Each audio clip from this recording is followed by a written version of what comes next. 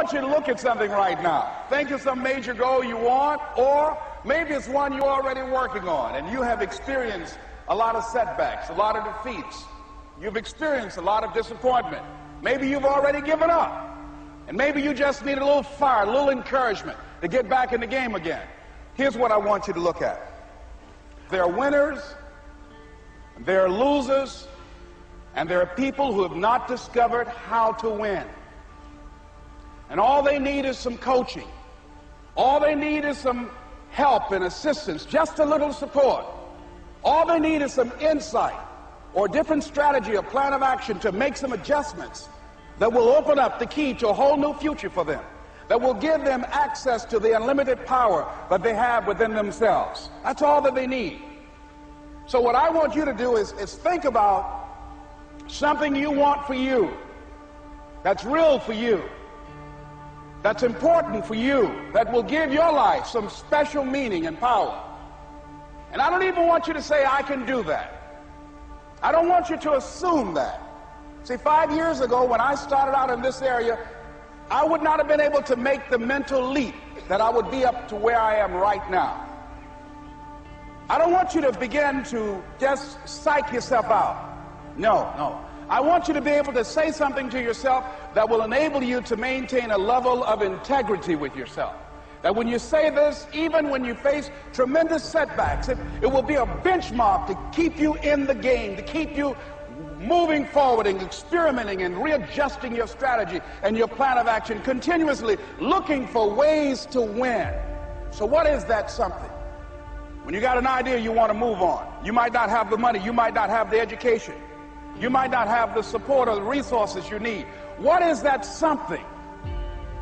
that can keep us going, that will enable us to act on our dream? What's one of those keys that will begin to help us to discover the secrets to our dream? That's all I want you to do when you look at your dream. Just say to yourself every day, it's possible. Just say that every day to yourself, it's possible. Because what does that do? See, it begins to change your belief system. See, the way in which we operate, ladies and gentlemen, it's a manifestation of what we believe, what's possible for us. Whatever you've done up to this point, all that it really is, is a duplication, it's a reproduction of what you believe subconsciously that you deserve and what's possible for your life. Most people operate out of their personal history, out of their memory, things they've done, things they've experienced, things they've seen, things that they have observed. What I'm suggesting that you operate out of a larger vision of yourself. I want you to see yourself doing what you want to do, experiencing what you want to experience, it, having what you want to have, doing what is that gives your life some meaning and value. Operate out of your imagination, not your memory. Because whenever you look at where you want to go, I'm wanting to warn you, you will have some conversation back here after you go through the data that you've experienced in life saying you can't do it. And so what you want to begin to do is ignore that inner conversation. Well, most people, ladies and gentlemen, when something happens to them, what they do is they begin to believe that that's the way it is. That's the way it's always been. And they can't see the possibility of it being any different. Example. Before April 1954, the common belief, the universal belief, because it had been tried again and again and again, and people had failed, the belief was that man was not physically capable of breaking the four minute barrier, that he could not run a mile in less than four minutes. That was the belief on the planet. It had never been done. But here's what happened, ladies and gentlemen. Roger Bannister came along and he broke the four minute barrier. Now, here's what's significant about that. Since that time, up to this day, over 20,000 people have done it, including high school kids. What changed? 20,000 people. What changed? Here's what happened when they got on the track. They knew it had been done. And because they knew it had been done, there was a new belief about this barrier, about this goal that was unreachable. And those 20,000 people got in a race believing knowing in their heart that someone had done it, that it's possible that they could do it. And I'm saying that if you know anybody that had some goal, some dream, something they wanted to do, and they did it, then I'm saying that you know in your heart that if someone has done it, then you can do it. It's possible. And that if someone can make their dream become a reality, that it's, it's possible that you can make your dream become reality.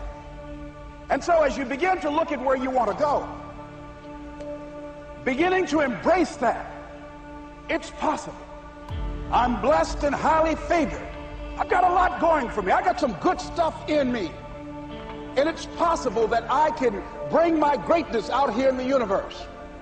That I can do what I want to do. It's possible I can write my own book. I can have my own business. I, I can take the trip and travel around the world. It's possible. I can bounce back from adversity and reinvent my life. It's possible. Regardless of where I am, the things can get better for me. It's possible. I'm thinking about two men right here in Chicago who were fairly successful, similar background, educated. They worked for a corporation for many years, and they were among many people that were laid off. Two guys who were very good friends. One went out looking for a job for several weeks along with the other one, and they faced disappointment and rejection again and again and again. They couldn't find any work, which is the story of many people across this country. One guy stopped. He became discouraged. He stopped going.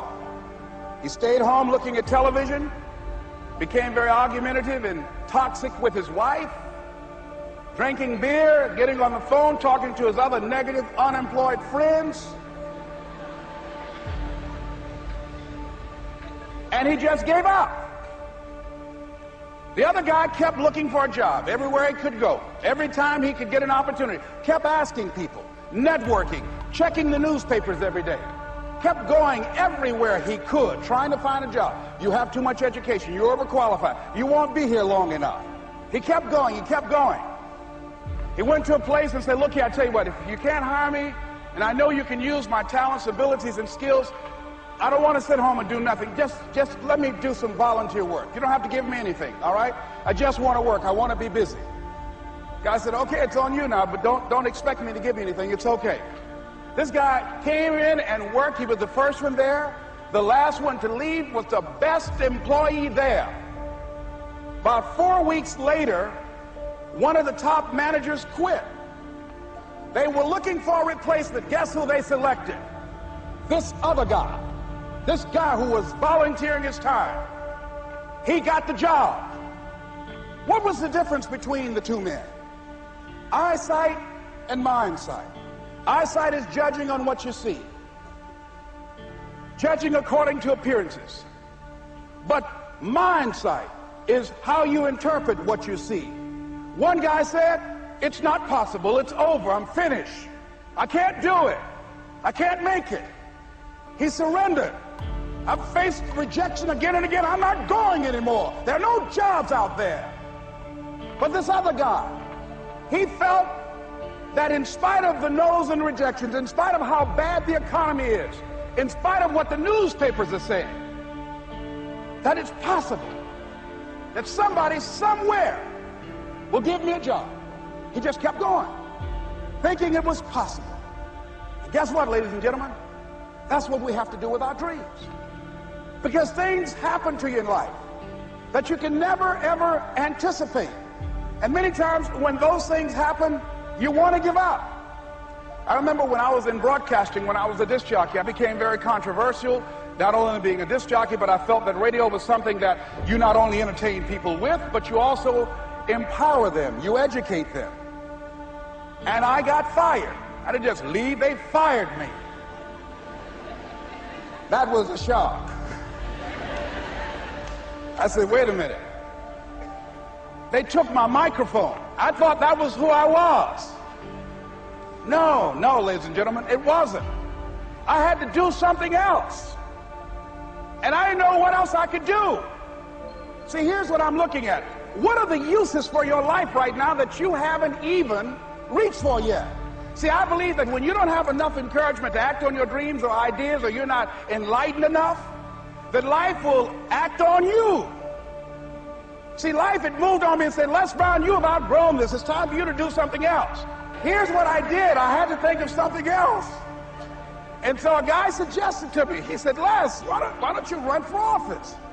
So I ran. Now here's what I'm suggesting. I ran. You got to do what you can where you are with what you have. I didn't have any money. I didn't know anything about the political process. I didn't even have any support. But here's what the guy told me. It's possible you can win. That's all I had. I was running against an endorsed candidate. He was an incumbent.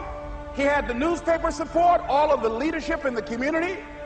And I was challenging this guy. Eventually, we got close to the election and something happened that really surprised me. Guys who I thought were going to either support me or stay out of it, various powerful community leaders, they became involved in it and they endorsed my opponent. I felt devastated. Now, that's going to happen to you when you're working on your dream. Things are going to happen that's going to catch you on the blind side. That was shocking to me. They didn't have to do that. All they had to do just stay out of it. But I didn't deal with that. You want to make your dream come true, you got to stay focused. Some people rather get even than get ahead. Stay focused on where you want to go. I just kept on doing what I was supposed to do. And so I was driving to the radio station. My opponent had over $20,000. I had less than $800. I won, ladies and gentlemen. I won.